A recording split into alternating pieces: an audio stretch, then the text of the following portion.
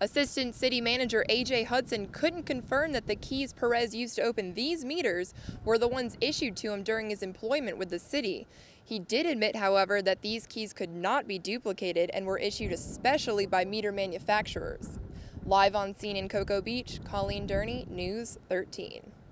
News 13 confirmed through the office of the mayor of New York City that the administration is looking to get people out of their shelter program by providing them with free one way tickets anywhere across the country in order for them to reunite with family members. 30 hopeful entrepreneurs will present their new ideas in a session called Pitch It held here at the Storer Auditorium. Their ideas will consist of new ways to look at our changing media. In order to find leads, investigators look through local papers like this one in the classified ads, and also just driving down the roads on signs like these. And another place they look is online, namely Craigslist. Hernandez tells me that the biggest accomplishment was finding out that the city agreed not to demolish the stadium. Now all they're waiting on are the funds to begin the restoration process which is why Orange County officials say that the lightning detection systems are so important, especially during the summer months when fields just like the ones right behind me are playing host to a number of sporting events. Thank you all for watching. This has been Colleen Dourney with UMTV Spotlight. Through a series of statewide stings and construction site sweeps, the state of Florida is sending a clear message. Unlicensed contracting is illegal. Part of the uh, department's effort is to be proactive in enforcement in trying to keep the playing field level for licensed contractors. Wayne Viger is a licensed contractor who admits he can't compete with the prices unlicensed contractors have to offer. I'm glad to see DPR will be out there trying to get these people. Doing that, it's an unfair thing to the contractors that are out there that are still trying to fight the battle and stay alive in these kinds of times. Over the past year, the state held 39 sweeps, resulting in 27 citations, and two stings, resulting in 10 arrests.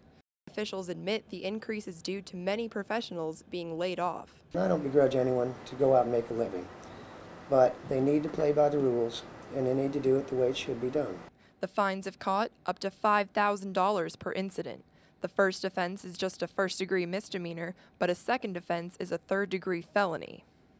In order to find leads, investigators look through local papers like this one in the classified ads, and also just driving down the roads on signs like these. And another place they look is online, namely Craigslist. In a sweep, inspectors go out to construction sites to check for licenses and proof of insurance.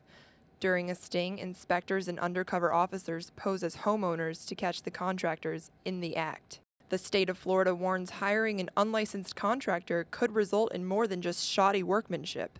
If a worker gets hurt on your property or property is damaged, you could be the one who is liable. And if the work is not completed, kiss your money goodbye. If the bid price seems too good to be true, there's probably a reason for that.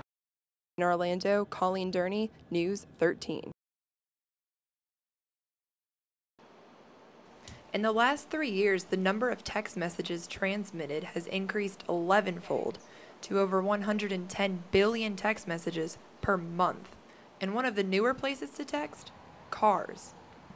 Combining driving and texting is not a good mix, according to UM police officer George Boxali. See them texting, and there's no way that that person that's involved in that activity can drive as safely as someone that's not involved in that activity. UM Department of Psychology Chair Dr. Rod Wellens attributes this constant need for texting to our changing society. We're kind of taught that everybody has to multitask.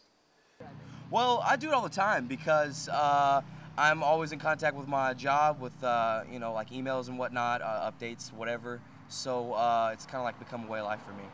When it comes to driving, we may be overconfident that we can foresee the future and nothing's going to happen and we can look away for a minute to get that call. So far, 18 out of the 50 states have made texting while driving illegal. And Florida is not on this list, but that's not to say they're not trying to make their way to number 19.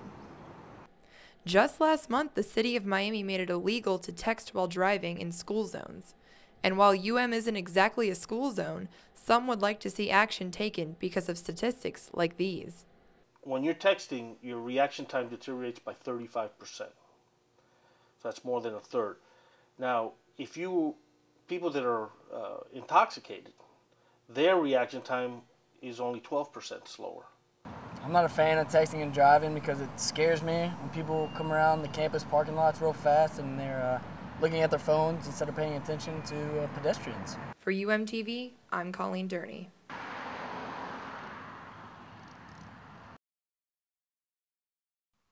The Miami Marine Stadium was designed in 1963 by Cuban architect Hilario Candela. Most open, public, natural, beautiful park that could, could be dreamed of right in that location. First, home to powerboat races, then later a performance venue, the stadium grew to be a symbol of Miami. The city condemned the stadium after Hurricane Andrew hit Miami in 1992. Later, George Hernandez, a professor in the School of Architecture, received news of the city's new plans for the stadium. When the uh, Edward Durell Stone plan for Virginia Beach first came out, the plan was that the stadium would no longer be there. Partnering with some of his students, Hernandez decided to hold a studio last spring geared toward the restoration of the stadium. We really used the brain power of the university and the energy of the university to champion this cause, and it has been quite a ride. With the help of architect Candela, students came up with ways to preserve the original quality of the stadium. Graduate student Robert Douglas was one of the members of the studio.